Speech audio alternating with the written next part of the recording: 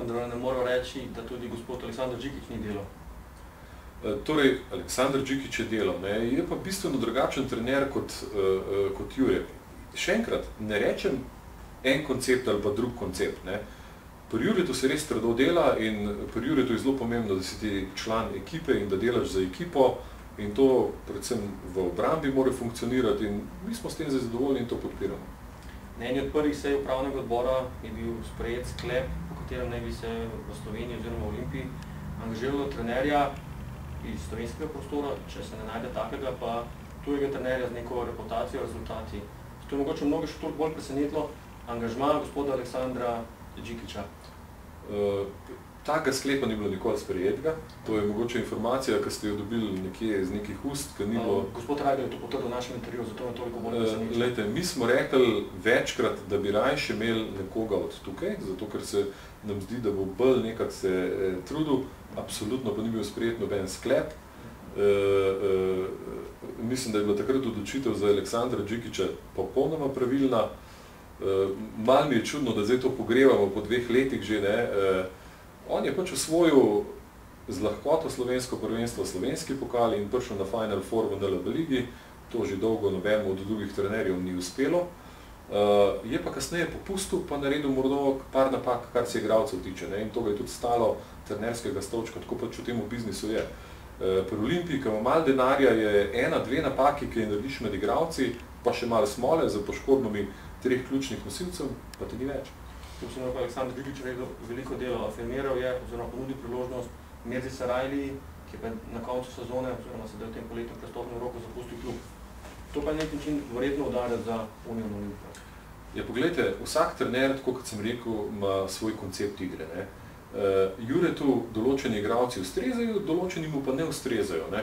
In Jure si gradi tako ekipo, ki bo ustrezala njemu in tega absolutno moramo podpirati. Ne? In tisti igralci, ki njemu vračajo na igrišču, samo tisti bojo rezultat prinesli. Zdaj, ne bi šel v špekulacije po imenih, ne? ampak ne pomeni, da določen igralec, ki od kar je Jure tukaj ne igra za Unijo in Olimpijo, ni dober igralec. Je dober igralec, ampak se bo pač bolje znašel v drugi sredini. Ne? E, ni zdaj tle, e, e, da bi zdaj rekel, da zaradi trenerja igralci grejo stran, zato ker niso dobili priložnosti. Koncept igre je tak, ki zahteva take tipe igralcev in tisti bojo igrali, ostali nič ni narobe z njimi, ampak boljš je za njih, da so v kakšnem drugem okolju. Definitivno. Vedno je tako je tudi Marko Milič. Jaz mislim, da jih je bilo več, se sem rekel, ne bi reč špekuliral o imenih. Jure postavlja svojo ekipo, svoj koncept. Uh, vsi košarkarki strokovnjaki, s katerimi jaz uh, imam kontakt, pravijo, da se je to v zaključku lanske sezone že videlo. Jaz pričakujem, da se bo zdaj nadaljevalo In mi stojimo za tem. In tiste igralce, ki pač uh, pašejo v ta koncept, tisti bo igrali za Olimpijo. Drugi pa, ne glede na to, da so dobri, da so popularni, bojo pač mogli poiskati uh, uh, svoje delo kje druge. S tem se vsekako strinjam tega poslovnega stališča.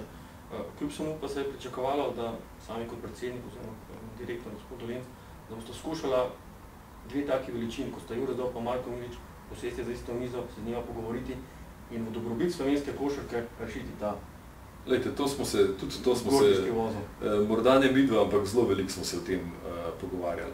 Pri vsaki stvari, eh, tiste stvari, ki se dogajajo prej, javnost, pa, pač tudi mediji ne vidijo. Ne? Eh, ko pa enkrat pride do točke, eh, ki se ne moreš več vrniti, je pa pač treba presekati in reči, ali ima ta prav, ali ima drug prav. Ne? Eh, lahko bi se zgodilo, da bi, dalo, eh, da bi pač oba imela narobe, ampak mi smo dali Juretu prav, še vedno ga podpiramo, in to pač tako je.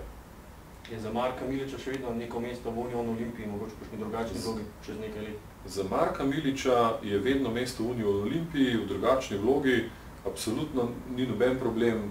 Jaz sem z njim bil večkrat v kontaktu, še potem, ko smo se rešili. Uh, uh, mislim, da je izreden profesionalc, zelo korektno sprejel in ja, odgovor je ja, je to mesto. Prej na začetku intervjuja sva omenila težka finančna situacija. Uh, s kakšnim budžetom, proračunom bo letos operirala Unijo Olimpijo? Lejte, to je odvisno od teh eh, razgovorov, ki jih bomo upravili uh, začetek septembra. Mi bomo par stvari že toliko deleč pripravljali, da čakamo samo še na podpise in da bomo tudi na kakšni tiskovni konferenci pol objavili.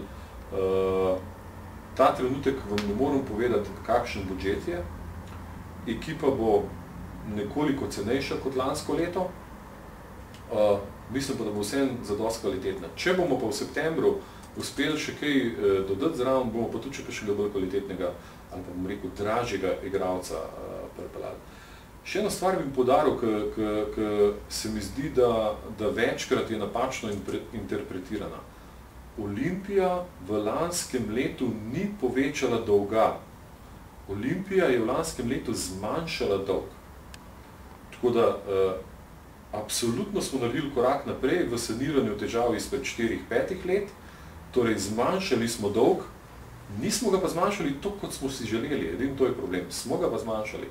Tako da lansko leto mislim, da je bil uh, zbrano toliko denarja, kot še nikoli do zdaj, ni ga, ni ga bilo pa zbrano za dost, da bi tisti dolg v popolnosti to, kot smo načrtovali, zmanjšali. Smo ga pa kljub temu zmanjšali.